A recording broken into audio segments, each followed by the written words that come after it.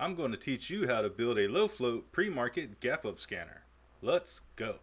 If you want to learn more about trading stocks or if you enjoy information like this, make sure you click subscribe and click the bell to receive notifications of new videos just like this one. Okay, let's build a low float gap scanner for the pre-market. So on your TOS, you'll come over to the scan tab. By default, it'll look like this. We'll just come to the to the right here and click these X's to clear it out because we're going to build from scratch. Okay, so I realize that some of you may not be the DIY type or maybe you're just too busy to actually take the time to build these scanners. So once you join the Discord server, link below in the description again, you can come down here to the Thinkorswim scanner section. You'll find all the scanner builds here. You can copy the link and paste it into your TOS and I will be providing a card to the top right of your screen now to a video explaining exactly how to input shared items into your TOS.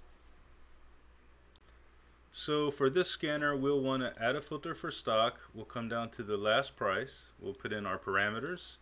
You can make these whatever you want. For me, 75 cent minimum, $10 max. We're going to add another filter for stock. We're going to come down to volume. This is going to be the shares that have traded so far in the pre-market this morning. I want a minimum of 5,000 with no maximum, but you may want to filter out some stuff that's already crowded. So maybe you put a max of say 3 million.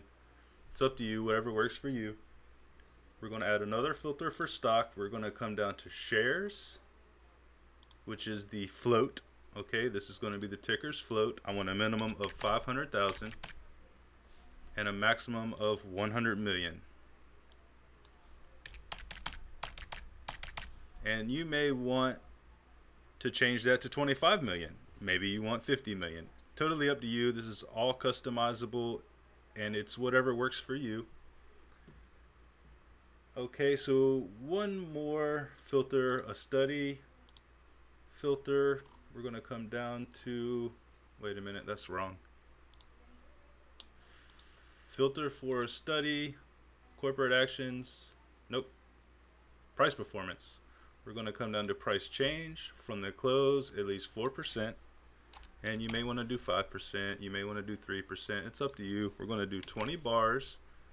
Okay, so each bar represents whatever time frame you put in over here. And for this, we're going to do 30 minutes. We're going to click include extended hours since we're trying to find stuff in the pre-market. And that's it for the scanner. Now you may want to add another filter study for corporate actions, maybe earnings. Say you want it to have earnings in the last 10 out uh, 10 bars or maybe you don't want it to have earnings in the in the next 7 bars, which in this case is day, so 7 days. And that's going to be it. The next thing you'll do is you'll come over here and click save. All right, you'll save this as pre-market gap or, or whatever you want to name it and click save and you're done. All right. So you can click scan and since the market's closed right now, there's going to be a bunch of stuff that comes in here, but during the actual pre-market, you're only going to get a handful of tickers that are gapping up. And these are all going to be gapping up on news or whatever catalyst that, that there may be.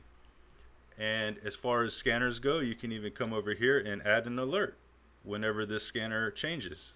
You may not want to use this for the pre-market scanner because this is going to alert you all day long and you're only interested in what's going on in the pre-market. So reserve that for other scanners that you may build in the future.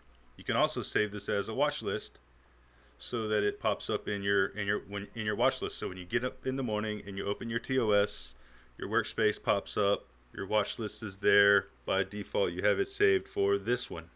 Okay, so the pre-market scan is going to pop up in your watch list and you won't even have to come to the scan tab.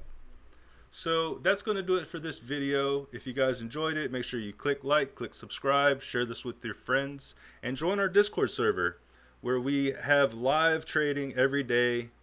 And we'll see you in the next video.